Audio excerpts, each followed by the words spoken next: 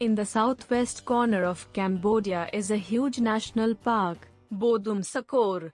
The wonders of nature in this country are concentrated here, from evergreen tropical forests to coastal plains and rocks.